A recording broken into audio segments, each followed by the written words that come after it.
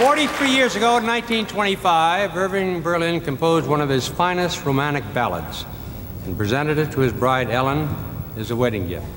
It's just as popular today as it ever was, and here to sing it for you, Diana Ross and the Supremes. So let's have a fine welcome to them.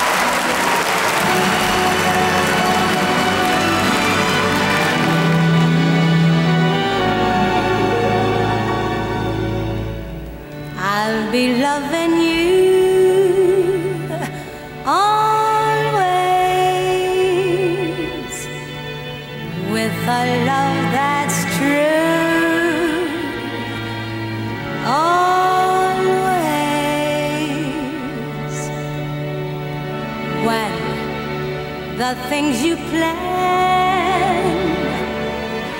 need